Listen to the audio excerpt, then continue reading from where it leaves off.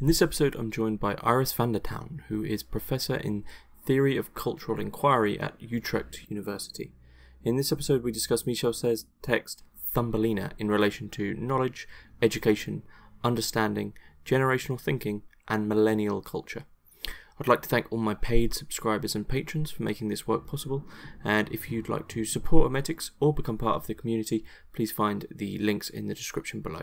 Enjoy. So, Iris uh, van der Tuin, uh, thanks for joining us on Hermitix for this sort of uh, sort of notable episode, fifth in the Hermetic series, or the Serres series, but also the first ever woman on Hermitix. Not for lack of trying, but uh, but welcome anyway. Thanks for coming on.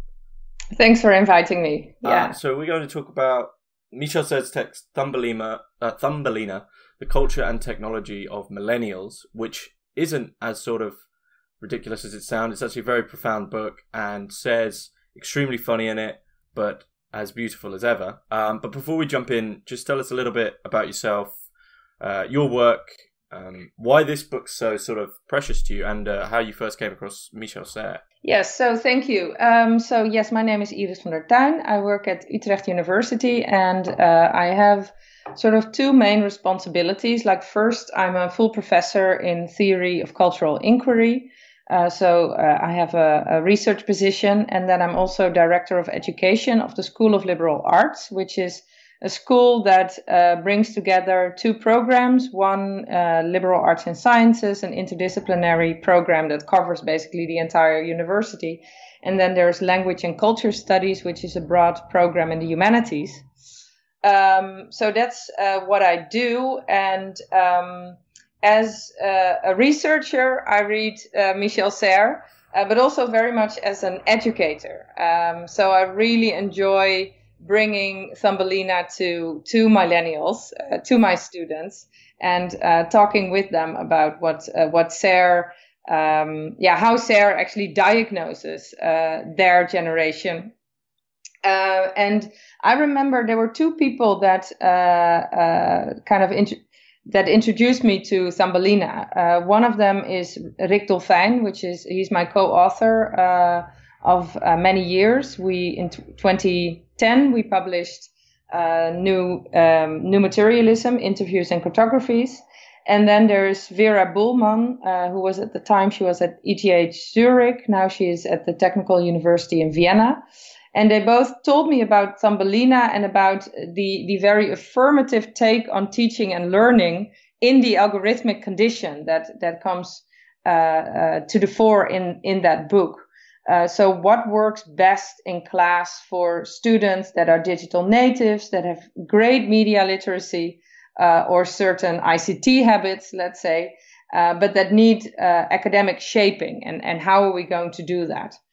Um, so, so that's very much how I read uh, this this particular Serres book, um, and in that sense, it's uh, informed also by my work with Felicity Colman, Vera, as mentioned, and Aislinn O'Donnell on the algorithmic condition, and my work with Anna Hickey Moody and another uh, U- Utrecht colleague, Nanna Verhoeff, on ICT habits of, of young people. Okay, so before we jump into the book, I do need to ask you the Hermitix question. Um, you can place three thinkers, living or dead, into a room and listen in on the conversation. Um, who do you, who do you pick? I would pick um, Susanne K. Langer, uh, who is my favorite philosopher at the moment. Uh, she published a philosophy in a new key in uh, 1942. Uh, she published a lot uh, on uh, the theory of art. Um, she published a massive volume on mind later in her in her work. Uh, I would in that room I would also put uh, Alfred North Whitehead, who was her teacher, um, uh, and then also her colleague and friend Ernst Cassirer. Uh, and for me, the, the the the conversation would be a conversation about style, or at least that's what I would like to learn. Um, so I've read a lot of Whitehead. Uh, I've read a lot of Cassirer. I'm reading everything I can uh, from Susanne Langer. Uh, but the way in which she navigates uh, the kind of let's say continental different continental styles and also the the different styles between the, the, the way in which styles differ between analytic and continental philosophers I, I would like to see that played out in a conversation. I mean, I have never uh, heard a recording of Langer or anything, but uh, I, I see her as, uh, you know, humble, uh, quite sweet, uh, quite smart, and and and and probably also emancipated philosopher. But how is she going to navigate these these people and all of these different different styles? I would be really interested in in overhearing that conversation and later analyzing it. So do you think um do you think styles sort of underrepresented in philosophy then? I don't necessarily think it's underrepresented in in philosophy. I think the the philosophy that I read um, uh, deals with style a lot, and uh, but uh, I I I would just think that that's something that that I would I would I would get from that conversation. So we have a whitehead that moved from the UK to the US. Uh, he started to write in a completely different way, you know, after he uh, he arrived in the US. And then there's Cassirer. There's the question of translation. Obviously, there's Susanne Langer who knows multiple languages, and and I think one of the reasons why I'm so interested in her work is because she brings together. Uh, and she brought together from very early on in her career uh, philosophers from many different uh, from many different uh, countries uh, and continents. So because of her linguistic um, knowledge and and and uh, capabilities, so I studied uh, right before the the Corona pandemic started and and started to prevent us from from traveling intercontinentally. I studied Susanne Langer's um, card index system uh, in the library at Harvard University. And uh, you know, I found, and in that that card index, she's basically, uh, uh yeah, brought together, collected kind of um, cards, index cards on whatever she read. And I, I found, uh, of course, English, French, German, Italian.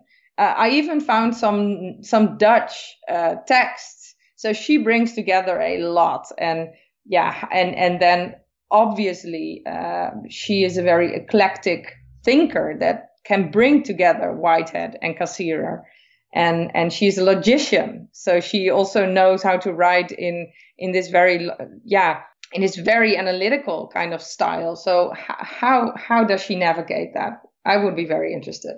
Do you use do you use Langer in your in your own work? I do read uh, Langer, uh, and I'm writing a lot about her. Uh, my my recent or, or my current, I have to say, book project is a book project on Langer uh, because, and and I'm writing about her from the perspective of a certain computational style of of thinking and writing. She brings together like so many different sources, and she she she especially in in the mind volumes she works in such an interdisciplinary way.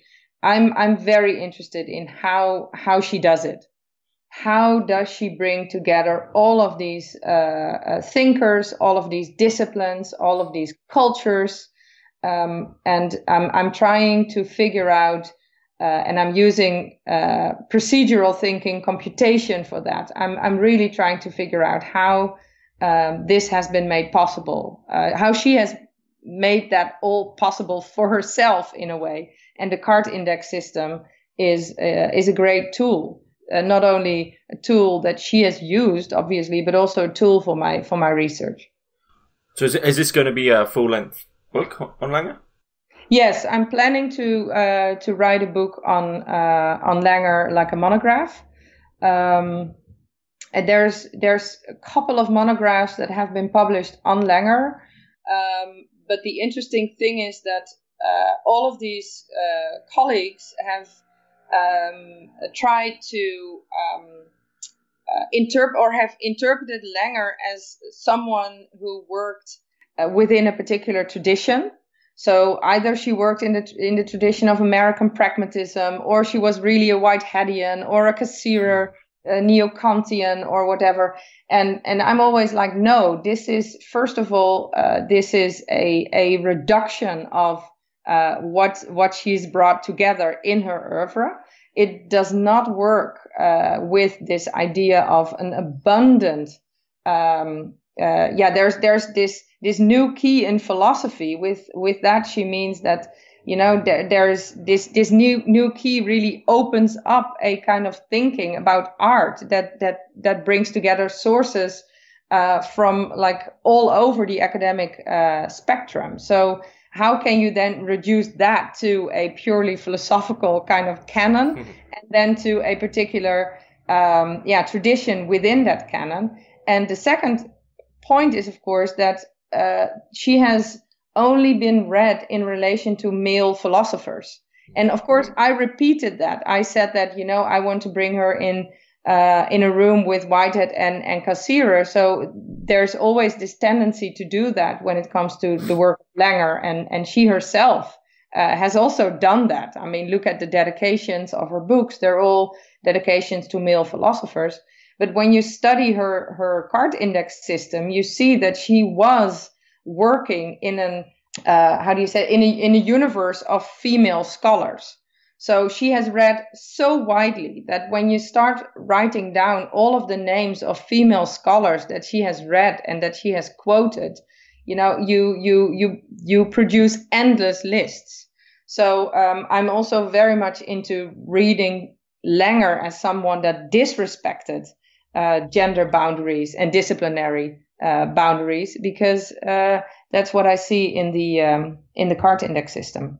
Do you think that's why you have such an interest in Serres as well? Because he's not someone who can be, you know, people say he's a Leibnizian or a just purely communications or it's all to do with a parasite and they'll try pin him down to one or a, an Epicurean or something like that. But really you're working with something which is much wider, which is really difficult to pin down. You're working just with philosophy itself.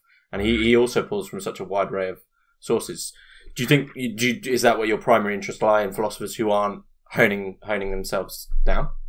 Totally, and this is, um, I mean, and again here.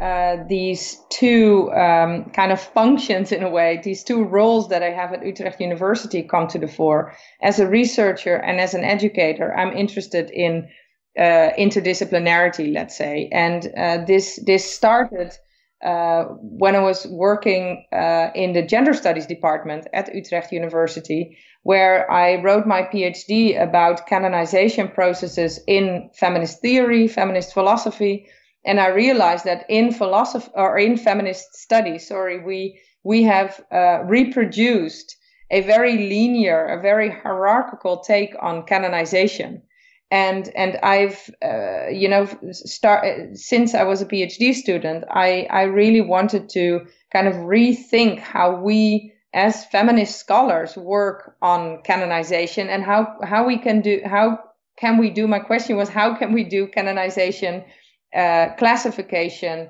uh, uh differently? And I used Rosi Braidotti's uh, image uh, or or figure um, or, or tool to think with of uh, the the cartography for that. So I, I tried to figure out how we could how we could think uh, in in horizontal, dynamic, and and in a way algorithmic. Although I didn't say that. Uh, ways about about bringing together our uh, our sources, our authors, uh, our role models, and and in that sense also emancipating students that that have always done that. I mean you you set up a course in let's say the historiography of feminist thought. You you you you make this mistake of representing black feminism uh, in in week one and lesbian feminism in week two and you know postmodern feminism in week three. And and students they they start to disrespect these these boxes. They they think out of the box, and and I really wanted to wanted us as as educators to come up with tools for them, methods for them to actually um, um uh, uh, become emancipated about these very creative ways of of of thinking with uh, feminist thinkers, feminist theorists. So you think those boxes are actually contrary to what the, to the arguments they're putting forward, much like in the same way that many people have used Derrida or Foucault to actually single themselves or to atomize themselves as an identity. Do you think those boxes are actually more harmful to the emancipation?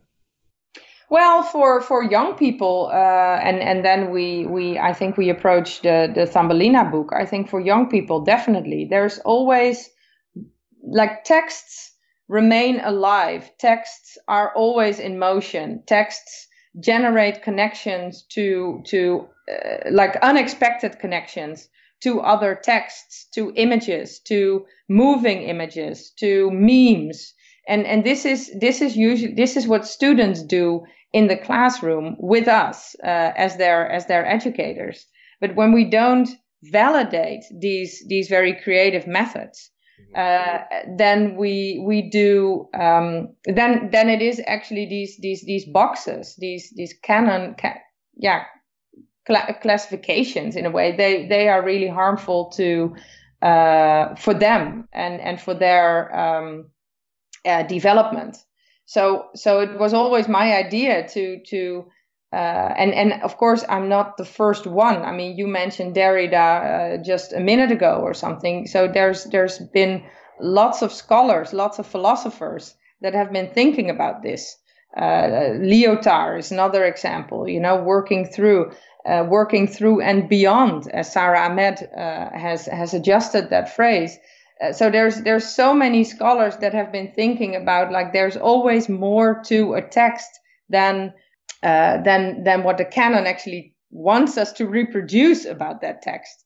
And and uh, for me, it's it's it's not only intellectually stimulating, but it is also uh, emancip- emancipatory. I think for students. Um, uh, when we develop methodologies that do justice to this. So, for example, uh, I worked a lot on the diffractive method, the, the, the method of reading and writing diffractively. And, and I've tried to implement that method in classrooms. And I've tried to tell students whatever you scribble in the margins, that's that's probably very important knowledge production. It's not just like a little side note that you may or may, may not bring to class. No, take it seriously and try to unpack the connection that you have made. Um, and and of course, there's this is even in terms of like method, classroom method, this is not new. Think about uh, this long tradition that uh, Rutgers University has in um, publishing the new humanities reader and, and publishing a method and, and really establishing a method of connective thinking and connective writing. So these methods are out there, but um, you know my my Susanne Langer example and your Michel Serres example uh, they tell us that in philosophy we are very fond of of of actually ignoring those methods and and sticking to to a linear classified uh, representation of knowledge and and in that sense um, not taking what students do with thinkers with concepts seriously. Okay. That's interesting. I was recently having a conversation with um lecturer called Rico Sneller, and he's he's he was along this idea of writing in the margins of something. He, he put forward this idea that the, the most interesting conversations, the most interesting knowledge, comes from spontaneous chats in stairwells or at the end of the lecture is always the most important stuff because there's this weird, strange moment of excitement and anticipation for moving. So you have this sort of time pressure to um, to sort of just quickly make the connections, whereas you're not constrained by the you know the the hour of of the lecture. Um, so do you I, think? No, I, I just wanted to say that that I find that very very interesting and a very helpful uh, example also, and, and and further unpacking of of what I was trying to say to say.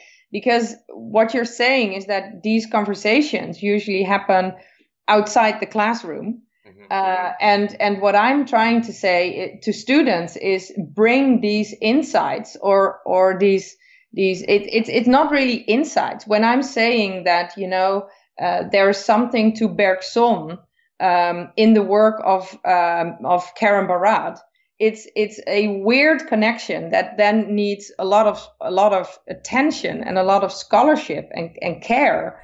Um, and and uh, yeah I, I i bring these these moments uh, deliberately into uh, the classroom and i'm actually trying to help students to to take those moments and those beginning insights in a way uh, seriously for for for their papers for example Yeah. Do you think, do you think that's what Serres' trying to do in part is to say to bring the um, to use like a Deleuzean example, like to bring the smooth conversations into a striated space and allow them to sort of almost disrupt that space. Well, what what Serres, of course, is um, is trying to do is is he is, um, of course, he's he's what he's saying is that the the, the these these obviously, uh, you know, of course, in Deleuze says the same thing. These these two spaces uh, they happen at the same time. So I can be a very striated teacher like giving this top down frontal kind of lecture to students. And what is happening in the classroom, in the lecture hall, is of course something that is way more smooth. And, and the point is, I think that these two, uh, these two modes, I'm, I, I don't want to, uh, I'm not into uh, trying to find some sort of middle way, uh, but I'm, I'm interested in acknowledging both. Mm. Um, and and what Serres does in in Thumbelina when he talks about the chatter, uh, you know, and this this this constant uh, flowing of information uh, from outside classrooms uh, to the inside of, of classrooms and and within the classroom uh, among students. Uh, I, I, he he wants to take that very very very seriously, and he wants to say that this is actually the most important flow of information in classrooms. And it is where we have to start uh, our pedagogical or didactic uh, project uh, because uh, these these lectures, I mean, especially now post, uh, not post, but in the midst of like COVID nineteen, uh, there's there's even more online than you know in the early uh, 2000s when when uh, Serres was starting to think about about Thumbelina. So it's not just Wikipedia; it's also all of these web lectures that that we have been recording and that we have been sharing. There's so much of that information can be either found by students or more careful, carefully curated uh, by teachers. And and these two uh, like the the Wikipedia, uh, but also like all of the the academic presses have, of course, like these beautiful kind of lecture like uh, pieces of information out there on the web, and then uh, the the curation, the possibility to curate, it's it's really out there, and um, it this allows us to take uh, the chatter very seriously and to see what what knowledge is actually be produced there or what what what knowledge can be produced how we can create knowledge uh, out of uh, what is happening among students. For Serres, what does he see as the major alterations for millennials in the way that they're taught and the way that they they learn? Because this is what um, for anyone who doesn't know the book this is what the the primary task of Thumbelina is addressing uh, both the culture and technology of millennials, as the title states, but also the way in which they um, intake information and understand things. So what he says is that uh, with uh, networked um, technologies, media technologies, uh, students have access now to to all the knowledge in the world just uh, by by opening their mobile phone or their iPad or their laptops. So you're immediately connected to not only the university library, but like every university library in the world. And of course, this immediately demonstrates that there is, of course, also a, a bias or a certain partiality to Michel Serres because we know that not every student has uh, an iPad or uh, a laptop. Most students have uh, mobile phones but then these students may have to like walk uh, to some sort of Wi-Fi connection or whatever. But still, I mean, there there there is because of media technology uh, a certain abundance of information that students immediately have access to, and and this changes uh, their relation to knowledge, insights, information, uh, because. Um, yeah, they don't necessarily uh, have to have to go to lectures uh, to write down the information and reread that uh, when they're at home. They they can look up whatever they want to know uh, always and everywhere. And um, yeah, that's that's what Michel Serres uh, talks about. And uh, recently, I was I was talking to to some students of mine about who who had told me that they had never had an introduction to the library. And I was like, that is so interesting because I know for a fact that every single first year student at Utrecht University gets a tour through the library. And uh, you know, imagine you're an art history student. They will they will physically point you at the art history books at Utrecht University Library. The same goes for interdisciplinary studies, like my students. But they they don't recognize this as an introduction to the library. I mean, yeah, maybe the library building, but they don't recognize this as an introduction to what is also an information infra- infrastructure and and at the same time what we are doing as as teachers as educators we are not recognizing the fact that these students they may have wonderful like social media literacy and and ICT habits but we have to teach them to use them uh, in an academic way and for academic projects so how silly to actually like tell the students okay here is you know your uh, soon to be favorite library space because here's all the art history books or here's all the philosophy books or whatever. That's not what we have to teach them. We have to teach them, okay, there's Web of Science, uh, there's WorldCat, there's archive.org, there's Wikipedia, there's Twitter, there's like all of these different platforms. That's their library. And, and I think this shift uh, is what Michel Serres wants us to to talk about uh, when he writes um, about uh, Thumbelinas. And do you think that this this connection to this new form of a library has actually disconnected millennials in a certain way to these older forms?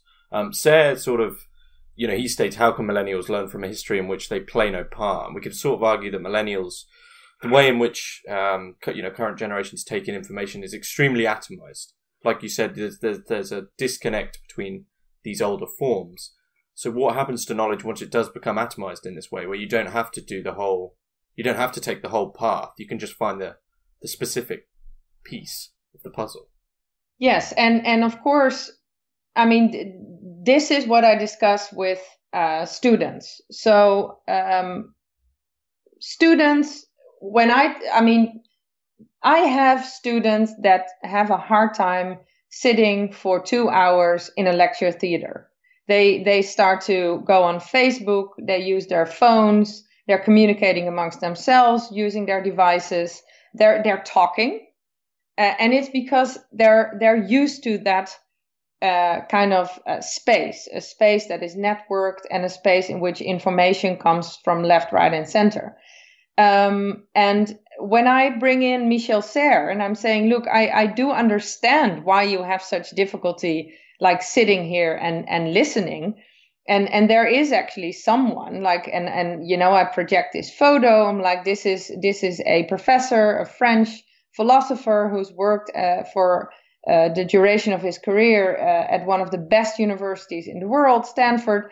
He he likes the fact that you are this way and he he wants to be like you he's he's when he's i i find that such a move, moving uh, fragment in Thumbelina when he talks about uh, sitting as an old man sitting in the Parisian uh, subway and seeing all of these girls and also boys like using uh, their mobile phones and, and looking up information and images and, and communicating and you hear him like being uh, jealous. And and i'm like okay so so uh, i'm i'm trying to to introduce the students to this very polemical uh, manifesto uh, about uh, changing education and changing research and changing also a professional ways of, of, of, of dealing with, with information. And of course, when you push the students long enough and when you start to like this atom- atomized or atomist uh, kind of uh, dealing uh, and and access to information when you push that long enough they of course start to become nostalgic about about frontal lectures and about like learning about the bigger picture and um, so and then my my point is always like I don't want you to necessarily change your your uh, your behavior in class. I think uh, it, that's really our responsibility as as educators. Uh, but but I do want us uh, as an intergenerational uh, group. I want us to think about like what would be the the educational models uh, for the future, and um, I'm I'm like some of the information and some of the the, the ways in which uh, Michel Serres talks about about using the internet uh, in in Thumbelina in his book. Some of this information is of course very situated and very experiential, and in that sense very very embodied knowledge. So he has this example about oncologists who. Um, uh, often say, and I'm quoting him now, who often say they learn more from reading blogs ri- written by women with breast cancer than from their many years in medical school. Mm-hmm. And then there's also this example specialists in natural history can no longer ignore what people say online, whether they are Australian farmers talking about the habits of scorpions or guides in the Pyrenees uh, discussing um, discussing uh, you know these mountains and and changes uh, in and on these mountains.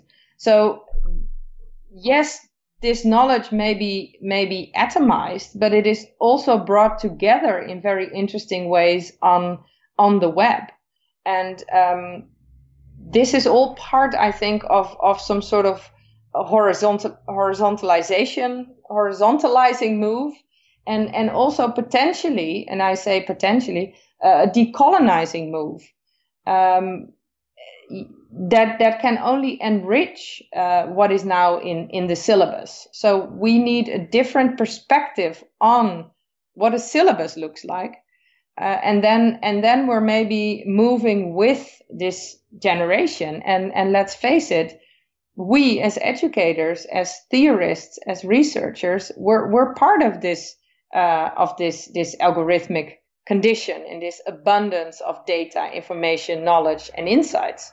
We are using Google Scholar, uh, Web of Science uh, in in our research, and uh, we are facing uh, the effects of um, students scanning unknown, like uh, unknown, quote unquote, sources that that will immediately feed into our research because they simply pop up and uh, we act on them. So um, uh, yeah, we're in this to, to speak with Rosi Braidotti again. I think when it comes to the algorithmic condition, we're in this together, and we simply need to develop different ways of teaching and and, and curating maybe access to knowledge. So it's quite a rare book in the sense that Serres is part of this older system of doing things. You know, you say about frontal lectures or sort of striated lectures where you sit down, you listen to something.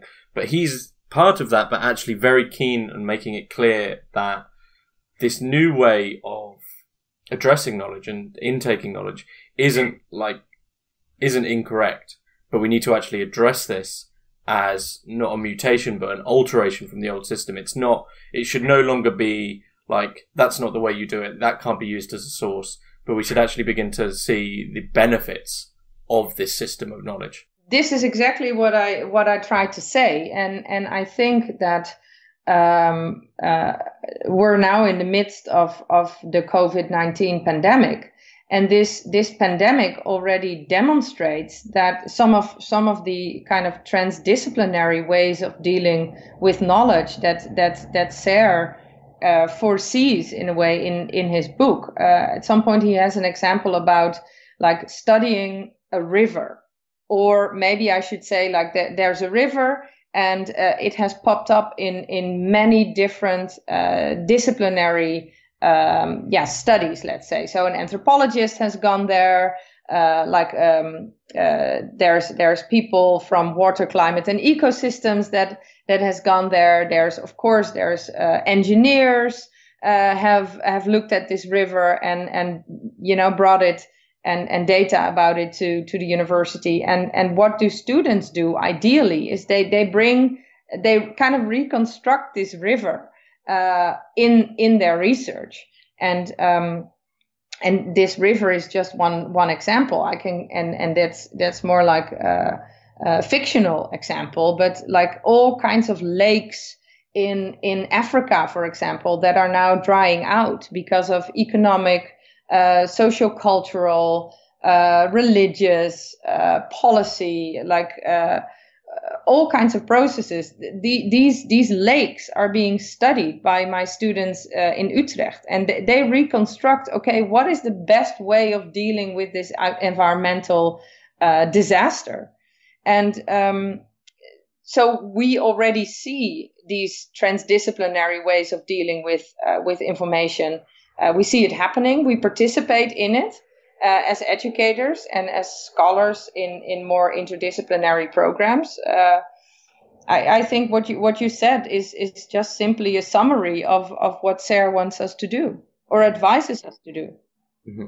And and philosophically, Serres makes this interesting point that actually for millennials, time and space um, is entirely different. So, what in what way do you think he sees time and space changing because of this new way of addressing knowledge for millennials? I think we, we can almost use uh, this this very charged notion of of acceleration um, in order to to to think about this, and um, uh, when it comes to time, obviously, and and then there's there's also um, a, a sense of closeness uh, when it comes to when it comes to space. So there is a more direct relation uh, between or or there can be a more direct uh, relation between between uh, or a more instantaneous relation between uh, knowledge production uh, somewhere uh, in Latin America and uh, a student here in, in in Utrecht, for example, working on that um,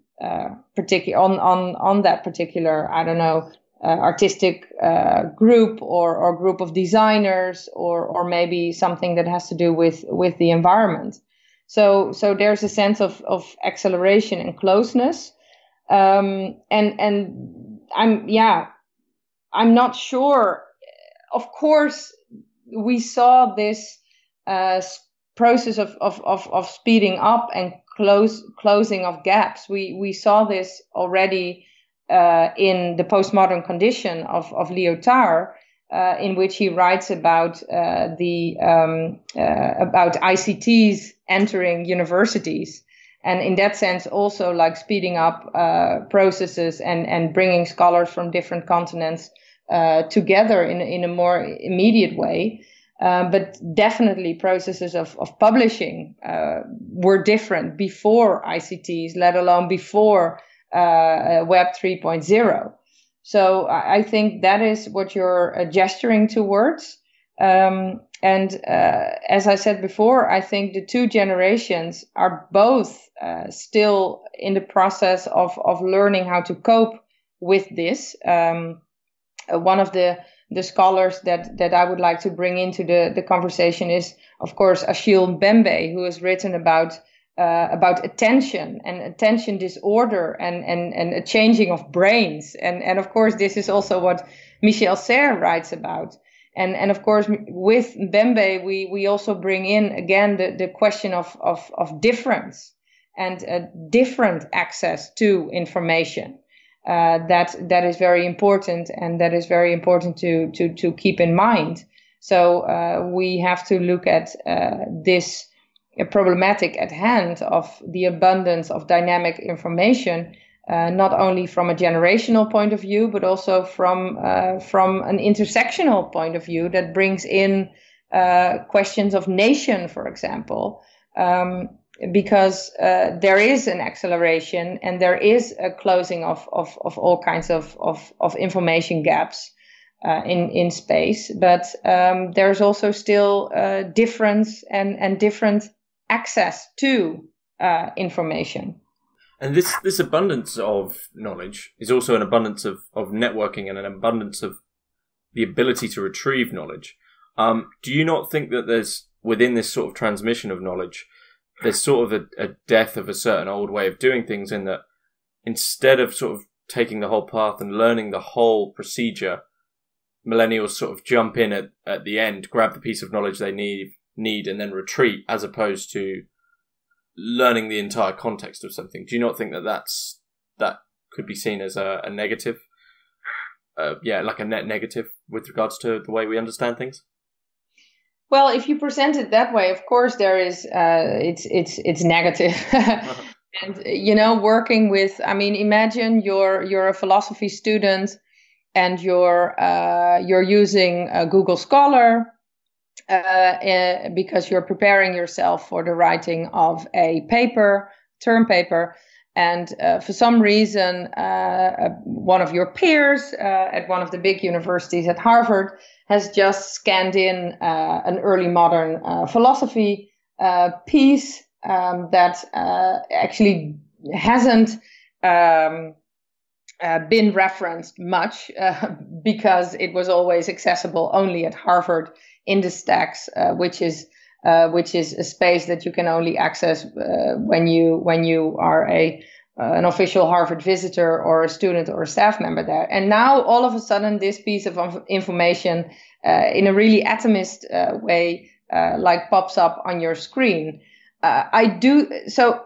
First of all, this happens. Second of all, one could say that that finding um, is uh, so that piece, uh, that scan, um, is a, a serendipitous uh, finding, and the the interesting um, uh, the interesting part of research on serendipity is that uh, in order to successfully um, and productively respond to uh, a serendipitous finding or a serendipitous connection is that you you actually need to have the knowledge uh, in order to that that allows you to recognize that what you have just found is interesting. Mm-hmm. So uh, I'm I don't really think that there's there's uh, that this student who who finds this early modern piece uh, is is going to then immediately uh, act on it unless she has had a very strong course uh, in early modern philosophy that allows her to actually think, pause, and think, what is this? Mm-hmm. So you you need and and I find this a very productive paradox. You need to know a lot in order to recognize something that serendipitously presented itself. And and I think this may be uh, something that um, uh, that that could enrich uh, the, the the thinking about about Thumbelina. So I don't think that this student will will will act on it unless she she has had a, a very strong um, uh, academic uh, course on on the subject matter, and uh, maybe there there is this very intuitive way of oh my god what I what have I just found? Well, I hope she will just send it to either a, a senior peer or a teacher and you know, bring the piece into circulation. Um, but um, there will always be the need of, um, uh, yeah, this this this contextualization, and and it will always actually I should I should turn that around and say that it it will always play a role because of course the the, the student can also have read uh, a lot about early modern philosophy on on Wikipedia or on one of these you know, very interesting encyclopedias uh, or, or study sources uh, that that we offer students. And uh, the the course may be uh, may have been very much more creative, or it may have not been on early modern philosophy. So she's not dependent in that sense on her teacher, um, but she is dependent on uh, knowing that uh, she is dependent on a more a more traditional form of, of, of knowledge in order for her to, to recognize, hey, this, this, this is important. I'm either going to write my term paper on it or I'm going to uh, just save it for future reference or I'm going to send it to, to peers and teachers. Do you think then that it's this atomization of knowledge which is for Serres the the thing which actually holds millennials together as a as a generation? Or do you think he'd be against do you think even though he's talking about a generation, he is actually against generational thinking? I, I think that he performs a certain generational thinking and, and, and also very kind of classical uh, generational thinking that, that I don't necessarily uh, recognize uh, in in from my own work. Um, I do think that he he would be more in favor of uh, um, yeah a more playful uh, way of of thinking about the generations. And uh, when it comes to to to this this problem, I'm always thinking about uh, about Bergson, who has also uh, written about generations, and he says that there's a very kind of linear way of thinking about generations. You know, the the the boy becomes the man, and then there's there's a non-linear, um, much more playful way of thinking about generations, which is there is becoming from the boy to the man. And and of course this is a gendered uh, example and it comes out of a gendered oeuvre. Uh, but I, I do believe that when you make becoming the subject of your of your discussion, uh, your discussion about generations is is more interesting, and and I, I find that uh, the the educator, uh, and that's why I, I really read Thumbelina with educators. The the educator uh, is uh, always herself always becoming uh, with um, you know paradigm shifts in in um, uh, how do you say that in in research paradigm shifts in in in pedagogy and in didactics and and paradigm shifts or shifts in in kind of uh, the the the knowledge economy uh, that we live in uh, so in that sense, I, I find educators uh, an interesting, uh, yeah, subject subject position to to to think with, um, because these people are forced to to move and to become with all kinds of changes. That's how I would answer that question or respond to that question.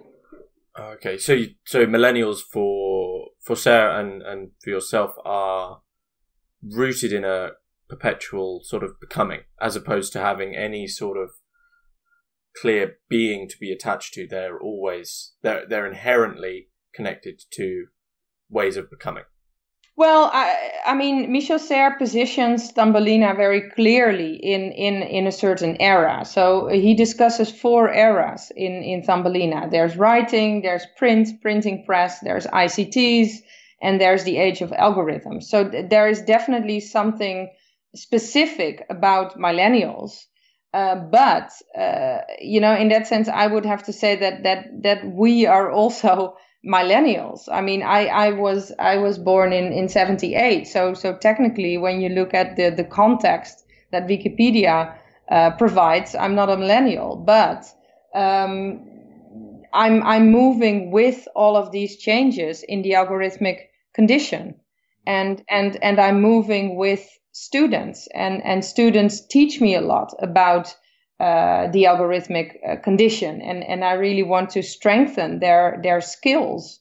So I would say that that these these uh, processes of becoming in a way they're uh, they're they're not just um, attached to to millennials uh, but we as as as as older generations we're we're also part of this this change in in um, um, yeah networked information um, flows. Um, so th- there's it's a yes and no answer. Yes, uh, there's something specific about uh, about the generation that is now studying, and no, uh, there's. Uh, it's it's not only them; it's also us, and it's also later generations that that will have to move within um, you know, uh, automated document generation, uh, you know, net all kinds of networked uh, libraries, network databases. That's what we do. I'm I'm really intrigued to, to, to hear your answer on this because it seems you're extremely passionate about teaching and actually really passionate about getting the knowledge across. So, um, and this is a big big thing for me as well with regards to grading. And Serres is sympathetic towards reverting back to some form of qualitative form of grading as opposed to quantitative or metric or like you know you you scored 90% which is somehow i think for Serres would always Serres would always hate this sort of or dislike this sort of thing. And i think perhaps a lot of millennial melancholy towards learning is the fact that their knowledge is assimilated onto a, it's flattened onto a to a grading matrix, right? I think that's what they're called. Um, what do you make of Serres' comments on grading, and how how how as an educator yourself are you? Do you think there's a way to change grading in a way that is more qualitative, or uh, do you, do you have your own sort of preference for a grading system? Yeah, well, um, I use both uh, rubrics, as we call them, and uh, and uh, more qualitative ways of of, of grading. Um, I and and I use rubrics at the very end of a course. So a quantitative way of grading students is something uh, that you can use when you when you just provide feedback. When you provide feed forward, let's say uh, in the in duration of of of a course, uh, just sending out a rubric makes absolutely no sense. So um, then it's more narrative based or, or conversational um, uh, grading, quote unquote, or, or feed forward. But what I find an even more interesting model and a model that, that may be even more suitable to, to this generation is uh, something that I take from um, the, the, the work on the algorithmic condition that I've done with uh, Felicity Colman and Vera Bühlmann and Aislinn O'Donnell, in which we talk about um, codes of conduct. So, uh, and, and I quite often use this way of grading in a way with students. So when students more and more they, they they're more and more asked to work in smaller groups uh, small transdisciplinary or interdisciplinary groups that that write something together that first formulate a question together that uh, look up sources together that discuss these sources and what i find interesting is to to have these students discuss their way of working, their preferred way of working, before they undertake the project. So, what is their code of conduct? How are they going to communicate? Are they going to uh, use a specific platform for communication? Is it going to be WhatsApp or is it going to be Blackboard or Canvas or Microsoft Teams? Are they going to be communicating like uh, always, uh, or are they going to communicate only during designated time slots? Uh, what if someone uh, um, uh, uh, kind of um, is is no longer able to to participate as actively as as before? Because I mean, we're in the middle of a pandemic. People get ill. There's all kinds of contingencies happening all all the time. What is their contingency plan? So so I, and and this is what I like about and and then what I ask is a code of conduct is something that you that you uh, construct uh, that you discuss in your group and part of that can actually be the question how do you want to be graded so what are your not only group goals but also what are your individual goals with this particular course and with this particular project. So, do you want to learn how to become a project manager? Or do you want to focus exclusively on the content? And do you want to be managed by, by another student who wants to learn something about, about management, group management, self management, whatever? So, this is an alternative to this, this dichotomy between qualitative and quantitative uh, ways of grading that I find interesting. And it's it's something that that students when you call it a social contract in a way, they immediately understand what you're talking about. You don't necessarily have to say like, "Hey, I wrote this report and in this report we talk about codes of conduct." No, you just say that there's there's there's an ethic to to working together and just try to discuss your ethics, your your your social contract uh, before you before you start. And and the students they like they they understand it. They like doing it. They know they need boundaries uh, because WhatsApp is something that they also use uh, with their friends, with their family. So it's not just a professional uh, way of communication or a professional medium. Uh, so they know they need boundaries and, and they like to discuss these boundaries and, and constraints. um, and they do this uh, from within a position of of possibility, um, and um, it's yeah, it's something that suits this this generation is what I uh, is what I feel. Sort of the big final question, which I found it's quite a difficult one to to answer. Um, Serres is always sort of critical of noise and I think laws and regulations and controls and is always making apparent the, the just continual noise which is coming at us from all angles. And he, he talks in Thumbelina about retrieving an authentic voice from what he calls the brouhaha. And this is a, this is a a really difficult question. The, the question of authenticity with regards to, to what one is learning is, you know, so the question is how, how can we retrieve an authentic voice from all this, this knowledge that we're now able to access? You know, within all of this atomization, how can we retrieve our, what we actually mean to say? Sorry, that's quite a big question. Well, I'm I'm actually not sure if I can answer this this question um, from a SAREan kind of perspective. Um, I I would say uh, because because I, I, I do find it a broad and a difficult question uh, that is more like a, a question for for for a PhD project on uh, Michel Serres, uh, the culture and technology of millennials and and authenticity and and sincere finding uh, and voicing a sincere um, statement what I would say is um, students or millennials uh, in the in in in general. So I'm also talking about like young professionals. Um, I I think they they will need to work their way through the abundance of information in a very situated manner, and um, this I, I do think that this is something that we already see around us. I mean, there's uh, there's there's environmental activism. Uh, there is um, anti-racist activism. These there's these two forms of activism coming together when it comes to environmental racism, for example, and and very young people like deciding that they wanted that they want change uh, and and they uh, they they know that they will have to uh, also ignore certain uh, class boundaries, certain national boundaries, certain uh, identity boundaries in order to to make their point.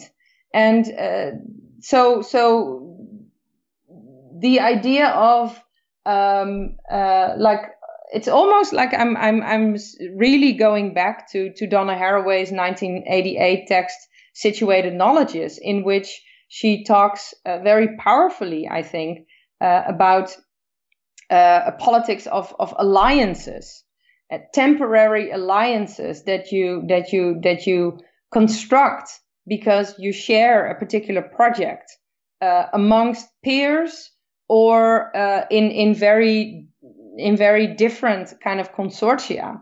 And to me, this is this is uh, the, the the kind of authenticity or or the sincere fo- voice that that millennials uh, can pick up, and and it is also what I see them uh, what I see them uh, kind of do, uh, not just now, uh, but also already with Extinction Rebellion and all of these um, networks and, and activist groups uh, also uh, already like uh, before the, the, the, corona pandemic started.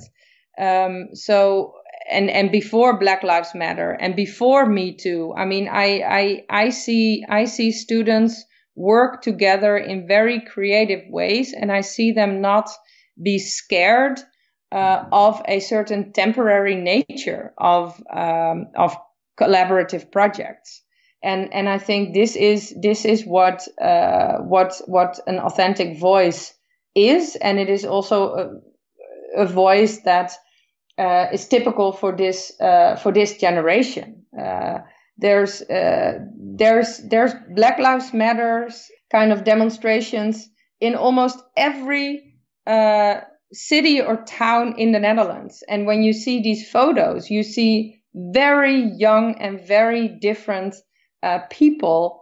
Um, yeah, taking taking a particular position in a, a global debate, and that's that's what they do, and that's what we do because we are also demonstrating.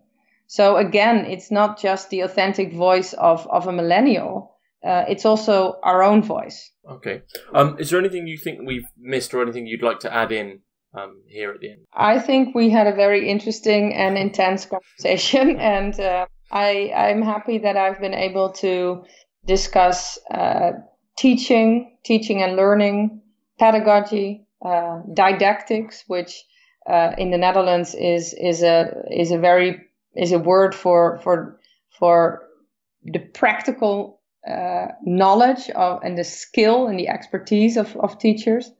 Um, so um, thank you for your questions, and um, it was fun. Thank you.